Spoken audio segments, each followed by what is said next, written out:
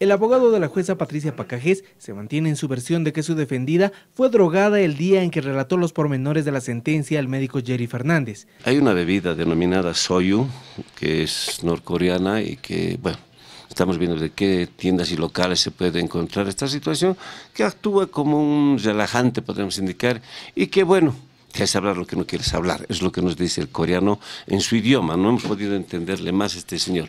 Para esta mañana se tenía previsto ratificar la denuncia contra Rommel Cardoso, sin embargo la jueza Pacajes no apareció. Formalizar el querella, estoy esperando la llamada de la doctora Pacajes, seguramente lo harán, habíamos quedado para las 9.30. Por su parte, Rommel Cardoso, consultado sobre estas declaraciones, afirmó. Por supuesto que ha habido pues, droga, droga de poder que ella tenía estaba completamente drogada de poder. Cardoso dijo que se someterá a cualquier proceso, aunque considera que no cometió ningún delito.